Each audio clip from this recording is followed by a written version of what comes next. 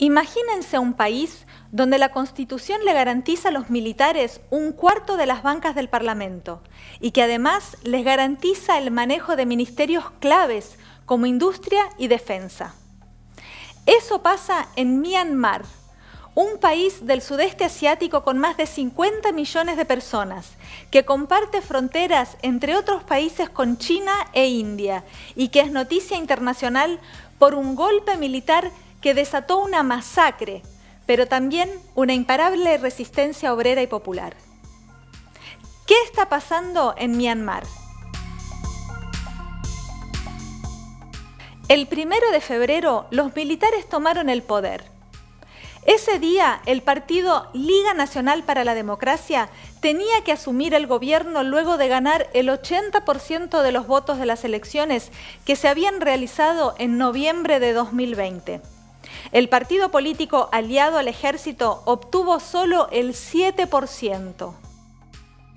Las Fuerzas Armadas encarcelaron al presidente electo y a la líder de la Liga Nacional para la Democracia, Aung San Suu Kyi, una figura muy cuestionada internacionalmente por mirar para otro lado y defender al ejército frente al genocidio de los Rohingya, una minoría musulmana no reconocida legalmente y perseguida hace décadas por el Estado. Luego del golpe comenzó un gran movimiento popular, exigiendo a los militares que respeten los resultados electorales y permitan al gobierno electo asumir su mandato. Pero la represión recrudeció y a dos meses del golpe ya se cobró la vida de más de 400 personas. Hay miles de detenidos. Muchos se encuentran desaparecidos y también fueron encarcelados decenas de periodistas.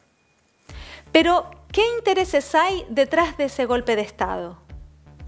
Myanmar vivió durante décadas bajo gobiernos militares, durante los cuales el ejército acumuló un gran poder con el que hasta cambiaron el nombre del país que antes de 1989 se llamaba Birmania.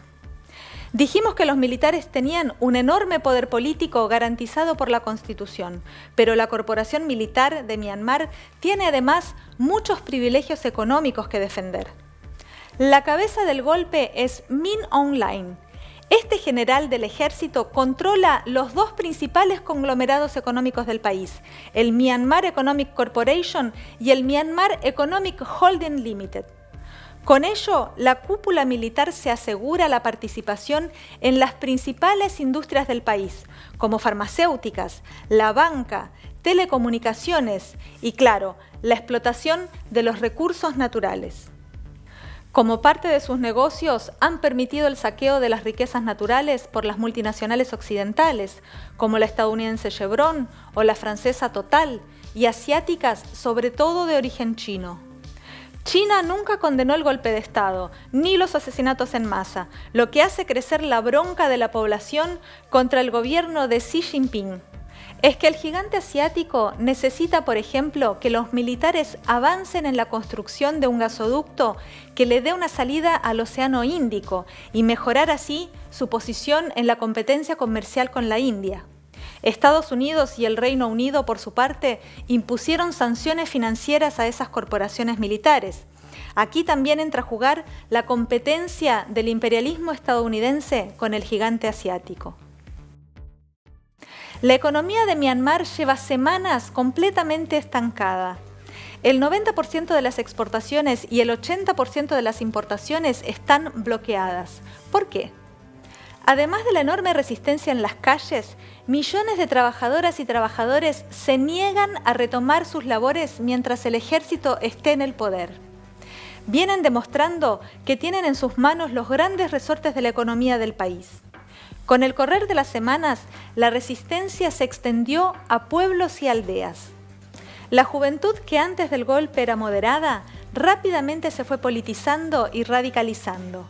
Jóvenes estudiantes, pero también una juventud trabajadora súper explotada.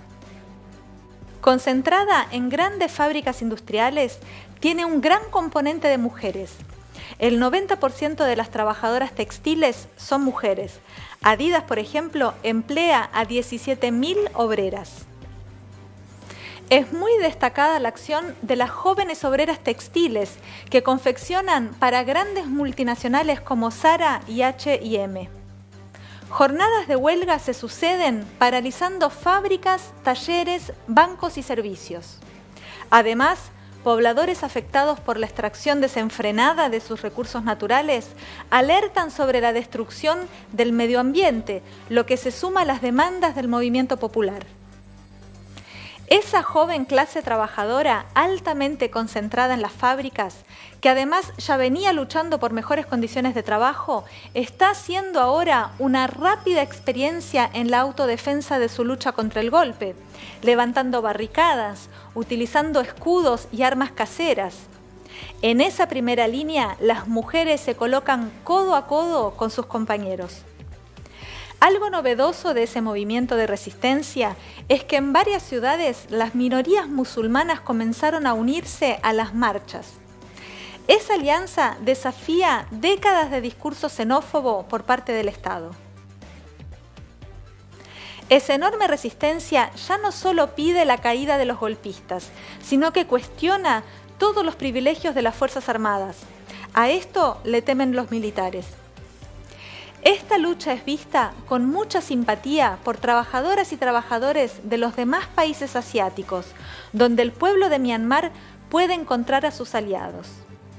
En su lucha contra el golpe militar, esa clase obrera, junto a campesinas y campesinos y a valientes jóvenes estudiantes, tiene planteado avanzar en su independencia de clase, sin confiar en quienes ya gobernaron para la clase dominante, como la Liga Nacional para la Democracia, y tampoco en las potencias imperialistas que hablan de democracia, pero defienden la explotación de los capitalistas sobre el pueblo de Myanmar. Si te gustó este programa, compartilo. Sumate a la comunidad La Izquierda Diario, difundiendo claves internacionales y toda la producción, para mostrar la realidad desde abajo.